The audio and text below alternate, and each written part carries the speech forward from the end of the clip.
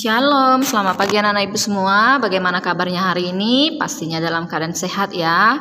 Nah, pagi hari ini kita akan mulai pelajaran kita dengan pelajaran bahasa Indonesia dari tema 2, subtema 2. Mari anak ibu siapkan uh, bukunya dan alat tulisnya. Nah, menggali informasi dari teks dengan dan menggunakan kalimat efektif. Nah, pada subtema 1, anak-anak ibu sudah mempelajari cara menemukan informasi dari teks. Lalu, anak ibu juga sudah mempelajari cara menyajikannya ke dalam bentuk peta pikiran. Kamu dapat mengembangkan informasi-informasi tersebut menjadi sebuah tulisan baru dengan kalimatmu sendiri. Ingat, selalu usahakan menggunakan kalimat efektif setiap menuliskan informasi. Nah, tahu tidak anak-anak ibu apa itu kalimat efektif? Nah, untuk lebih memahami, mari simak video berikut ini.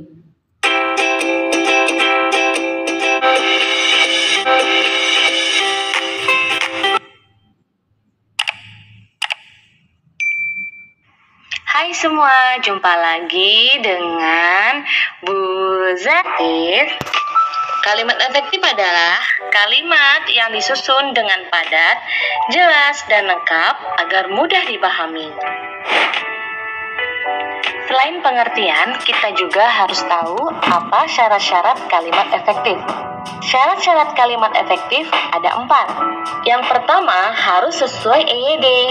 Sebuah kalimat efektif haruslah menggunakan ejaan maupun tanda baca yang tepat agar lawan bicara kita mudah memahami apa yang kita bicarakan atau apa yang kita tulis. Yang kedua, sistematis. Sebuah kalimat paling sederhana adalah memiliki susunan subjek dan predikat, kemudian ditambahkan dengan objek dan pelengkap hingga keterangan. Sebisa mungkin guna mengefektifkan kalimat, buatlah kalimat yang urutannya tidak memusingkan. Yang ketiga, tidak boros dan tidak bertele-tele. Jangan sampai kalimat yang kalian buat terlalu banyak menghambur-hamburkan kata dan terkesan bertele-tele, supaya orang mudah mengerti apa yang kau ucapkan. Nomor 4, tidak ambigu. Di dalam KBBI, ambigu artinya bermakna ganda atau bermakna lebih dari satu, sehingga menimbulkan kerancuan atau multitafsir. Jika ingin kalimat kita tidak ambigu, maka kita harus memilih kata, tanda baca, intonasi dengan cara yang tepat atau benar.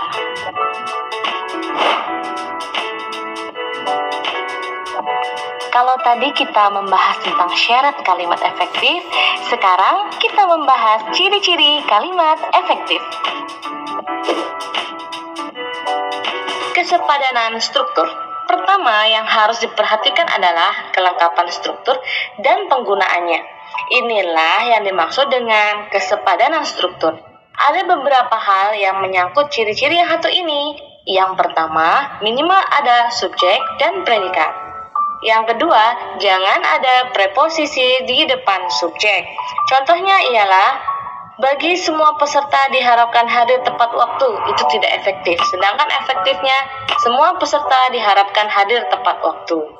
Kita lanjut nomor tiga, yaitu hati-hati menggunakan konjungsi di depan predikat. Contohnya ialah Dia yang pergi meninggalkan saya. Contoh yang barusan kita lihat adalah salah, karena di dalam contoh tersebut ada kata yang.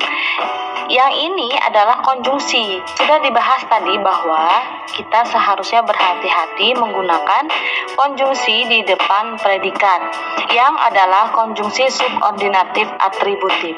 Jadi seharusnya yang betul adalah Dia pergi meninggalkan saya. Selanjutnya yang D, jangan ada subjek ganda. Contohnya ialah Adik demam sehingga adik tidak dapat masuk sekolah. Kalimat yang barusan kita dengar adalah contoh kalimat tidak efektif karena ada dua subjek dalam satu kalimat. Sebaiknya kata adik dikurangi menjadi satu saja, sehingga yang betul adalah Adik demam sehingga tidak dapat masuk sekolah. Kehematan kata karena salah satu syarat kalimat efektif adalah ringkas dan tidak bertele-tele, kalian tidak boleh menyusun kata-kata yang bermakna sama di dalam sebuah kalimat. Ada dua hal yang memungkinkan kalimat membuat kalimat yang boros sehingga tidak efektif. Yang pertama, menyangkut kata jamak dan yang kedua, mengenai kata-kata bersinonim. Untuk menghindari hal tersebut, berikut ini contoh mengenai kesalahan dalam kata jamak dan sinonim yang menghasilkan kalimat tidak efektif. Contoh kata jamak. Para siswa-siswi sedang mengerjakan soal ujian masuk perguruan tinggi. Contoh kalimat yang barusan kita dengar merupakan contoh kalimat tidak efektif. Karena apa? Karena di dalam kalimat tersebut ada kata para yang merujuk pada pengertian jamak. Sedangkan ada pula kata siswa-siswi yang artinya juga jamak, lebih dari satu siswa.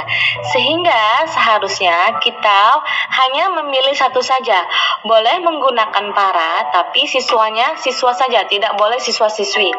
Boleh juga menggunakan kata siswa-siswi, tapi kata paranya harus dihilangkan, tidak boleh digunakan juga. Sehingga yang betul adalah Siswa-siswi sedang mengerjakan soal ujian masuk perguruan tinggi. Ia masuk ke dalam ruang kelas. Kalimat yang barusan kita dengar merupakan contoh kalimat tidak efektif. Karena apa? Karena ada sinonim dalam kalimat tersebut. Ada kata masuk. Masuk di dalam KBBI atau Kamus Besar Bahasa Indonesia artinya adalah pergi ke dalam. Kemudian ada kata juga ke dalam. Ke dalam artinya ya pergi ke dalam. Sehingga kalimat itu terlihat boros gitu. Seharusnya dipilih salah satu. Tidak usah ada kata masuk ke dalam. Masuk saja boleh. Jadi yang betul adalah Ia masuk ruang kelas. Ciri yang ketiga adalah kesejajaran bentuk. Ciri-ciri yang satu ini menyangkut soal imbuhan dalam kata-kata yang ada di kalimat. Sesuai kedudukannya pada kalimat itu, pada intinya, kalimat efektif haruslah berimbuhan paralel dan konsisten.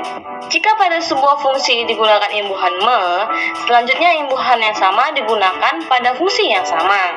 Contoh, Hal yang mesti diperhatikan soal sampah adalah cara membuang, memilah, dan pengolahannya. Kalimat yang barusan kita dengar juga merupakan contoh kalimat tidak efektif. Karena apa? Pada kalimat tersebut ada kata membuang, memilah, dan pengolahannya. Kalimat tersebut menggunakan imbuhan me. Seharusnya semuanya menggunakan imbuhan me atau fungsi yang sama. Sehingga kalimat yang benar seharusnya Hal yang mesti diperhatikan soal sampah adalah cara membuang, memilah, dan mengolahnya. Ketegasan makna tidak selamanya subjek harus diletakkan di awal kalimat. Namun, memang peletakan subjek seharusnya selalu mendahului predikat. Akan tetapi, dalam beberapa kasus tertentu, kalian bisa saja meletakkan keterangan di awal kalimat untuk memberi efek penegasan. Ini agar pembaca dapat langsung mengerti gagasan utama dari kalimat tersebut. Penegasan kalimat seperti ini biasanya dijumpai pada jenis kalimat perintah, larangan, atau anjuran yang umumnya diikuti partikel lah ataupun. Kamu sapulah lantai rumah agar bersih. Itu tidak efektif. Sapulah lantai rumahmu agar bersih. Ini baru efektif. Nomor 5, kelogisan kalimat. Ciri-ciri kalimat efektif terakhir yang amat krusial menyangkut kelogisan kalimat yang kalian buat. Kelogisan berperan penting untuk menghindari kesan ambigu pada kalimat.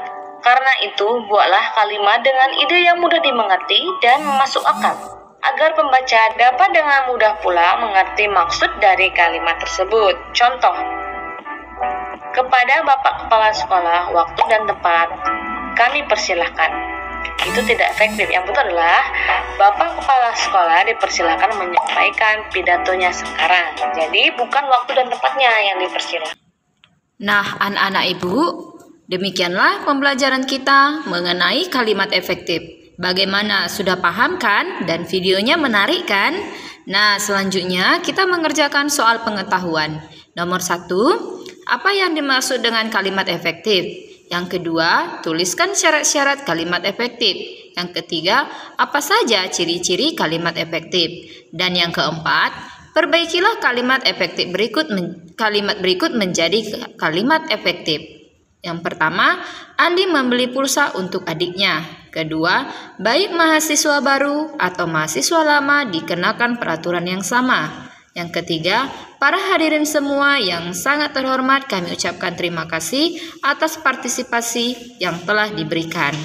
Nah, ini anak-anak ibu ya soal kita silahkan dikerjakan di buku latihannya. Selamat mengerjakan, Tuhan Yesus memberkati. Shalom.